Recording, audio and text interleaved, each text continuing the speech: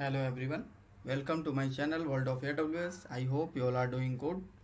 So we are continuing with yaml tutorial. Okay so this one is the third video.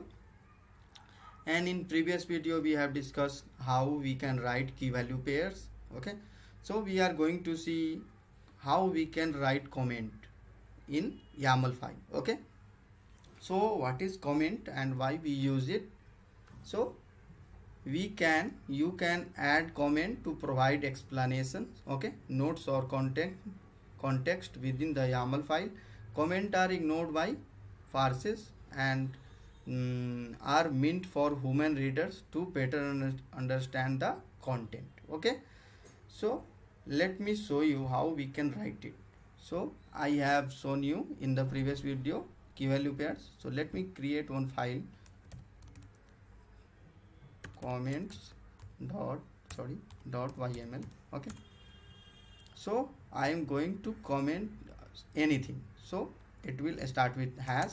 So this is my first comment okay?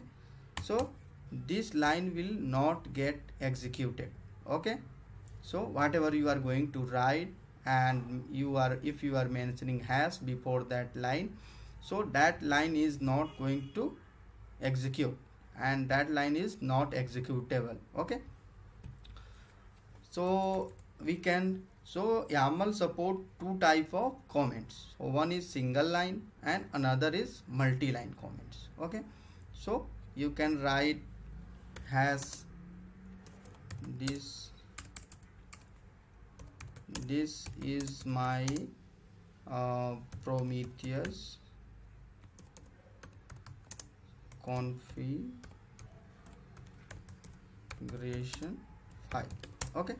So why we use comment? Like if you are writing any file or something like that then you can just uh, write this context and you can just comment that to like some if someone is opening that file and he, they are trying to do some changes or something like that so they can easily understand what this file is going to do what are the codes available and what they um, mean to be.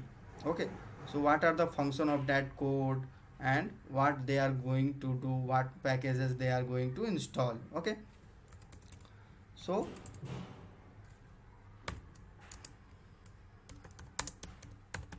so you can see right like uh, if i have giving the slash uh, here okay.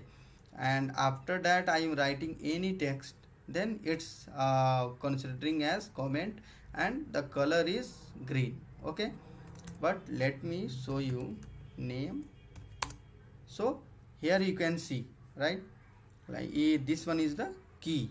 So it's not showing in green. But if i want to comment this then we just need to mention the hash before that. Whatever value uh, key value you are writing you just have to mention the hash right? So i have written here key value pairs but i have commented that. So yaml is not going to execute that line a specific line okay? So this one is the multi-line comment and this one is the single line comment okay so that's it for this video. I hope you found this video informative and helpful. If you have any query then please do let me know in the comment section. Don't forget to subscribe my channel and you can check out my other playlist as well. Thanks. Thanks for watching. See you in the next video